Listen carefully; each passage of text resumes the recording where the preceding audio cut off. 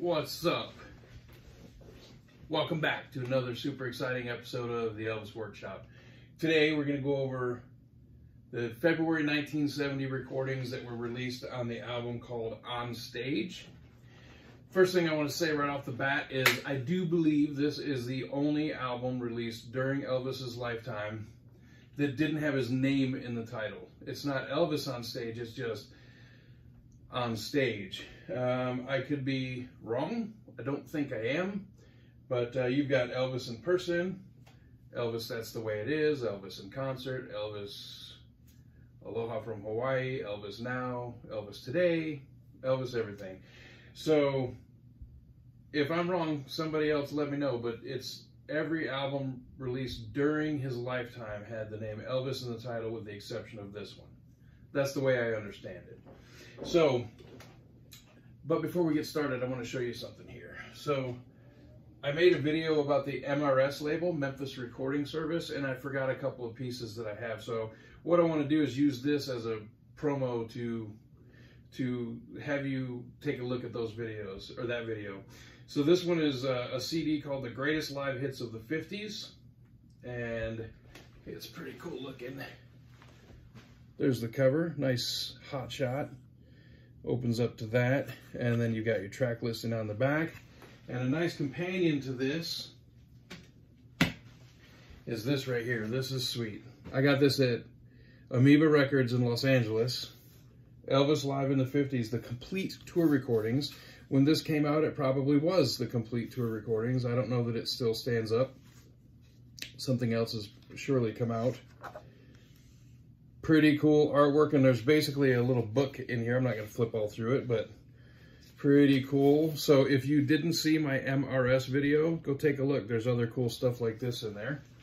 And then I also made a video about the movie Elvis, That's the Way It Is. And if you missed that, I also forgot this. Fort Baxter, get down and get with it. These rehearsals are on the new That's the Way It Is box set, but this is the original bootleg.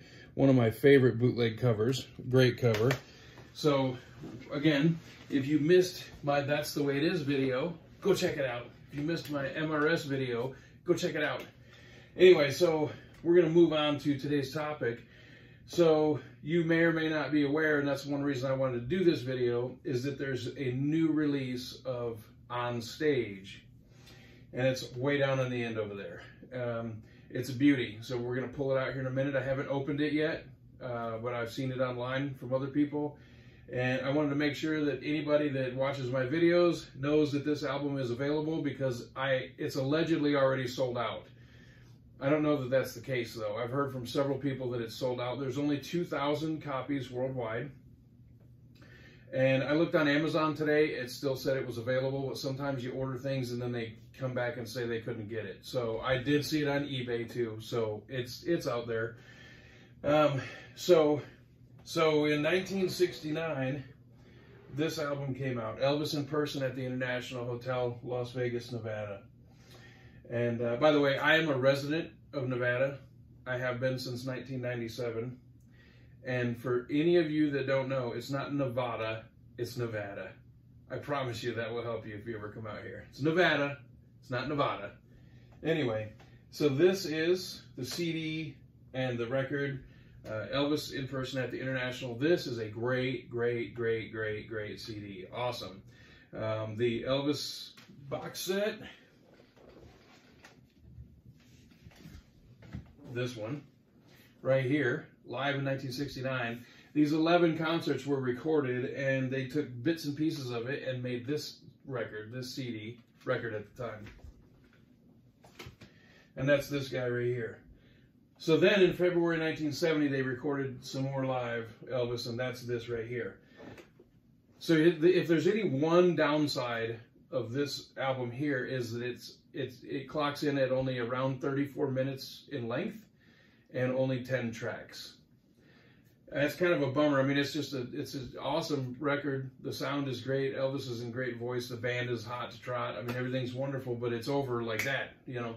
So, but I think the reason why is that this one had just been released and then they released this. They're both live, both from the same venue. And I don't think they wanted any redundancy. They didn't want Hound Dog on both. All Shook Up on both. Are You Lonesome Tonight on both. You know, so and there were only so many songs to go around. So that's the deal. This one here has 12 tracks. This one only has 10. You know, the standard is usually 13. Uh, so it's a little short and it goes by really fast, but it's just action packed. And of course, you can flip the disc over and listen to it again. So this right here is the Legacy release. Um, this is awesome. It's, it's great. It comes with a plastic sleeve cover that you can see on there. Maybe you can't. And this is pretty cool. It's this and this in one package. So it's the original cover from this album, but it's both both of these albums in one nice package. So that's pretty cool. If you don't have that, get your hands on it. This is a Japanese release. Again, original cover art. This comes off. So it's the original artwork on the front. On the back, the tracks are in English and Japanese. You open up the inside and it's a little different. The sound is exactly the same. Track list is, is, is exactly the same. No difference. You're not missing out on anything. I bought this purely for packaging. Again, I got this at Amoeba Records in LA. They have a lot of stuff there. All right, so this um, this one actually is a pretty cool record personally for me. Um, so it looks like just a standard Elvis uh, the on-stage album by Elvis, but it's actually a little bit special. It's a little bit different. So a friend of mine had um, a collection. Uh, let me rephrase this. So when Elvis passed away, anybody that had any dealings with Elvis's recording uh, career were were given a basically a full catalog of Elvis's records from RCA to them, and um, so I have about probably 10 or 15 of these from the same collection. So if you look on the back here, it says not for sale demonstration only. You can find that on several albums. It's not something super rare, but this uh, this particular on-stage album belonged to the personal collection of Felton Jarvis, Elvis's producer. And a lot of people say, well, Elvis produced his own stuff. Felton was just there to push the button. I agree with that. Fair enough but Felton did get credit for the being the producer, and he put Elvis in his comfort zone and, and got the best out of Elvis that he could at the time. And uh, this was Felton's personal copy, so it's mine now, and uh, I treasure that because there's only one of each. So, and I have one. So over here we have a couple of FTDs uh, off on stage. Uh, this first one here, and that one has a great version of Proud Mary on it. Elvis kind of goofs up the lyrics and the song uh, it, they're going 100 miles an hour but it's just to me it's awesome I've, I've played that cd into the ground the next one is the on stage uh, let me pull it over here See, uh, season the on stage season this is opening night and closing night i believe february 1970 because it's the on stage season so pretty cool two discs little booklet which is standard with ftd nice box set standard 1970s shows, so you can't go wrong there. I think the life story thing was either completely gone or a lot shorter, a lot less awkward. 1969, it was a little rough, a little hard to handle sometimes. Just went on and on, like like me right now. Anyway, so let's get to the meat of this thing. So we're here with the new release. This, uh, like I said, is allegedly sold out. Um, a lot of people, maybe you watching this video didn't even know this was out. So it's it's from the company called Music on Vinyl. And as far as I know, they just re-release old stuff. I could be wrong on that, but I, I think that they just re-release old stuff. And this is a numbered edition. Otherwise, the album artwork is all these uh, all the same. Mine is number 1,121 out of, I think, 2,000. So it's actually opened already. It just comes in a sleeve. So if somebody tries to sell you one and they say it's sealed, blah, blah, blah, it's not sealed. It just comes in this. Uh, it's not shrink wrapped. So we're going to open it now. This is the first time I'm opening it. I've seen it online, so I know what to expect, but I have not opened my personal copy. I just got it today. And it's damaged. That sucks. I don't know if you can see that right there. Brand new, just came in the mail. In a cardboard container. record container and it's damaged. That sucks. So, original artwork, nice and glossy. It looks nice and shiny and new. Okay, so this is a poster that comes with it. I'll open that in a minute. This looks like a copy, a reproduction of the original sleeve, what it would have looked like. And in here, this is the beautiful part. For those of you that don't know, red vinyl, orange label. Look at that, isn't that beautiful? That thing is sweet. As soon as this video is over, the sucker's going right on that record player over there. So I'm gonna go ahead and put this down here. I'm gonna show you the poster that comes with it. It's the original artwork for the album. I'll try to do this without wrinkling it up. Pretty cool. Nice big reproduction of the original artwork. Try not to bend it up, wrinkle it up. Okay, so that's it for today.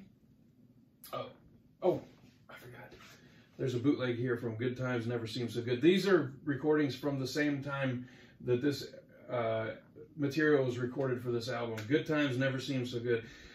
So Elvis's very first live recording that was released as a single was from this album, The Wonder of You. And on this bootleg, the unedited, undubbed master cut, the live performance as it was that evening, is available. The Sweet Inspirations hit a not so sweet note here, and it's it's pretty off key. In the master that was released, you can still hear it, but it's buried deep in the mix, but it's still there. And on this one, you can hear it clear as day. It's not good. I love the Sweet Inspirations, but they uh, that was not good. Um, but uh, this this bootleg was extremely popular when it came out. I loved it. I still do. Listen to it every once in a while. So anyway, that's our video for today. Um, if you don't have one of these and you want one, you better get it now because it's going to be gone. If it's not already gone, you're going to get it on eBay, and it may not be cheap. And pretty soon it's going to be really not cheap. And that red vinyl is just beautiful. And I've heard the sound on this is phenomenal. I've of course not listened to my own copy yet. So anyway, I hope you liked the video like, subscribe, and share, and all that good stuff. And then uh, we'll see you next time. And let's see. If you don't like this video, it's because you ain't nothing but a hound dog. see you later.